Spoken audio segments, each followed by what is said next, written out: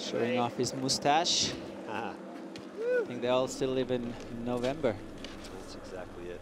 People don't understand that reference. The month of November, the men, a lot, a lot of men around the world grow uh, mustaches um, to raise awareness for testicular cancer. So we call it Movember.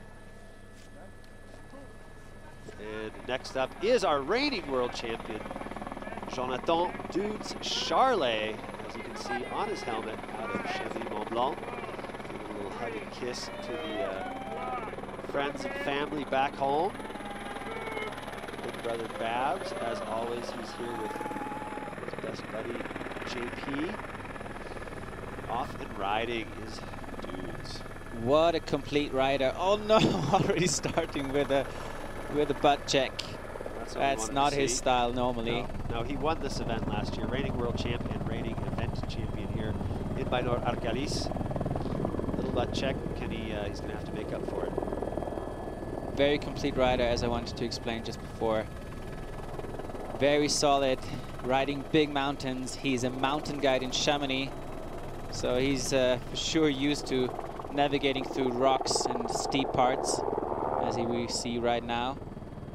Very comfortable in all kinds of terrain and mixing it up with freestyle elements. And of course has those freestyle tricks. Started off uh, his career as one of the uh, freestyle kids out of Sham, going for a little backside 180. And straight landing on a onto a rock. There we go. That's just one of those things. The landings, they look clean. It's not speaking for his experience. He thought he will get away with it, but it's really rocky, as I said in the course preview.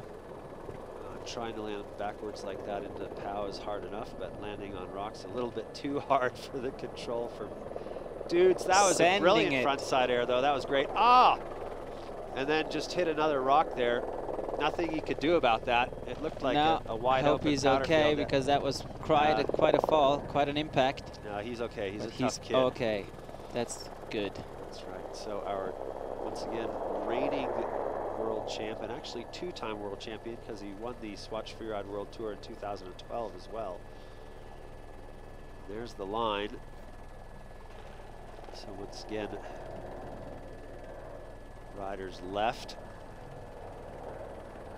Looking for uh, some creative jumps and just getting unlucky with the the snow conditions today. And as you can see, that's uh, not going to be the best score of Dude's career.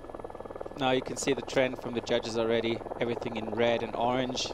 It's not what you would expect from a double world champion, but uh, he's also a person of all or nothing. That's exactly it. He, he kind of lives by the same motto as uh, three-time freeride world champ Xavier De Le Rue. They're both the Frenchmen, and it's go big or go home. And, uh, you know, usually they go big, and sometimes it just doesn't work.